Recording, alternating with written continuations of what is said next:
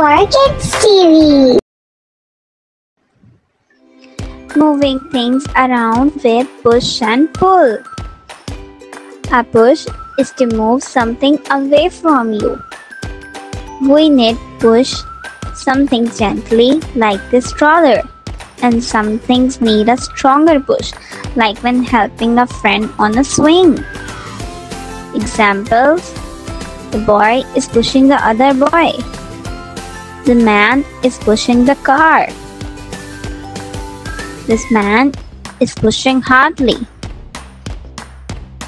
A pull is to move something towards you. Pulling a ball back can sometimes need a stronger pull. When you walk a dog, remember to pull gently.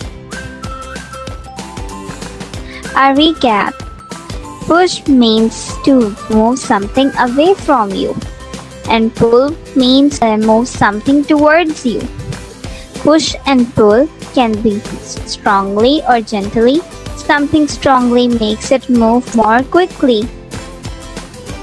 Exercise time. Where do we use pushes and pulls every day? What is this boy doing?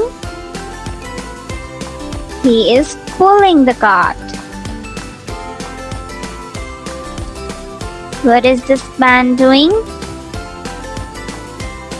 He is pushing the child. What is he doing? Pushing.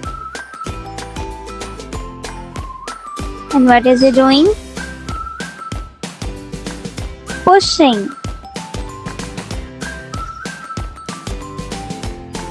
And what's that guy doing? He is pulling the rope. Good job. Which do you use more daily, pushes or pulls? Thanks for watching. Like, share and subscribe.